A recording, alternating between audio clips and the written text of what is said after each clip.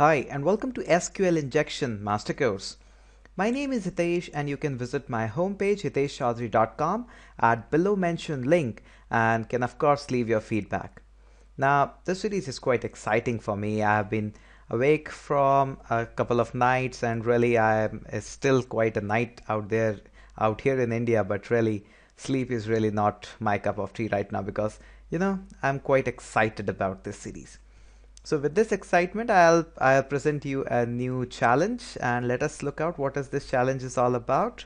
So moving on to our SQL environment on our virtual machine and you can simply see there is a file that says lesson 19.zip file. Now something twist is out here.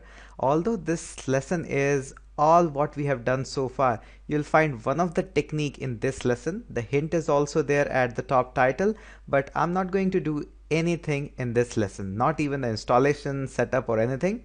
So really the sometime tests and challenges are required so that you can test yourself, hey, how much you are doing in this series and how what we have learned in this series and quite other things as well. So that's it for this video. Of course, I'll be creating a more videos on this series, not a end officially end out here, but really this series, this video is just to give you a test environment. So test it out yourself, find out yourself that is it vulnerable? Of course it is vulnerable, but make sure you find out what is the vulnerability and how to inject into the database. So with this, let's end up our video and thank you so much for watching.